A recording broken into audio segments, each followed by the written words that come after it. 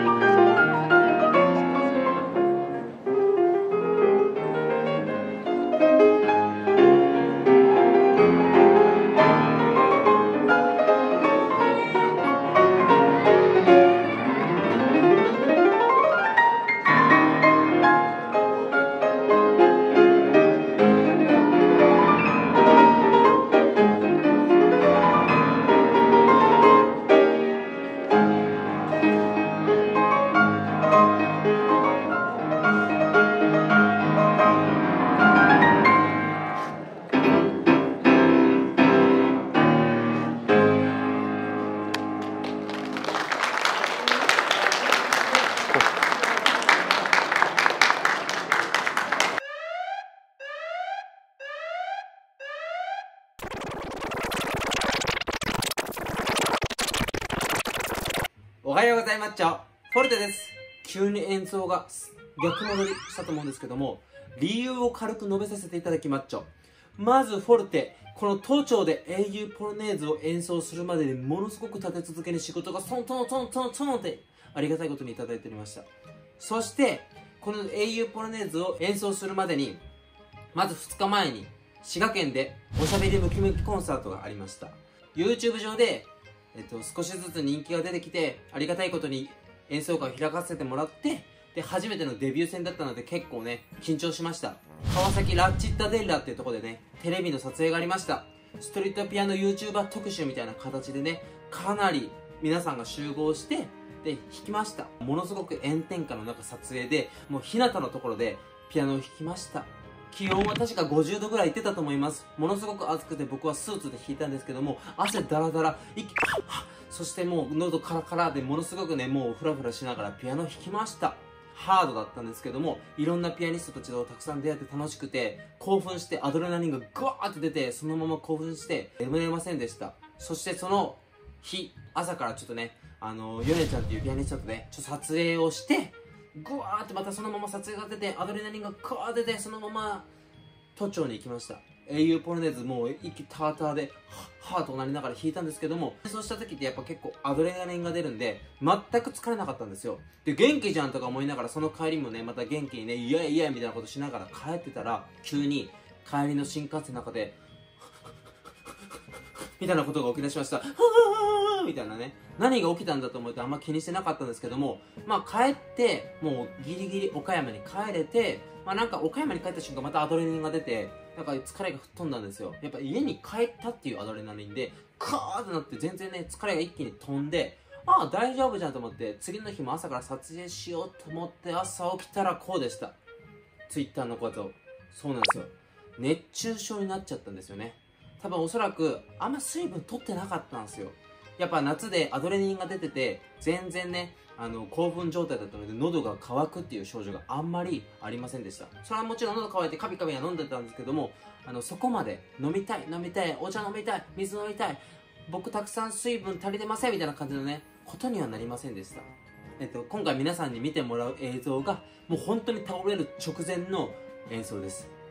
結構ねこの時あの元気には弾いてるんですけども内心結構疲れてた記憶があります。結構限界値だった感じの演奏があって、まあ、世界中のピアニストの中で毎日のように演奏会開いてるピアニストたちはすごいなと改めて思いました、まあ、そんな思いの中弾くピアノをぜひ聴いていただけたらなと思います、まあ、僕がね今までちゃんと真面目に弾いた演奏っていうのがいくつかあるんですけども英雄ポロネーズね。今回の英雄ポロマネーズはもうあの普通に体がボロボロになる直前の珍しいタイプの演奏なのでぜひそれも含めて見ていただけたらなとは思いますなんで、えー、と今この演奏を出すかっていうとねその映像がなくなったと思ってたんですよ。紛失したと思ったんです。で紛失したと思ってたんですけどもなんかね動画をよくよく整理してみたら復活したんですよ。敗者復活戦!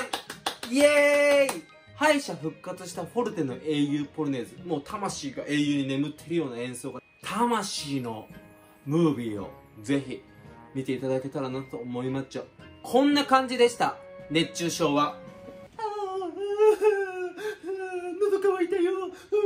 なんかぼーっとするよ。なんか結構眠たいな。あなんか頭が痛いな。お何しよっかな。今日は何もしたくないな。でも喉が乾いたな。ぼーっとするよ。誰か助けて。でも助けてくれないから水を飲むしかない。あみたいな感じでしたね。見てくれてありがとうねよければグッドも押してってなんならちゃん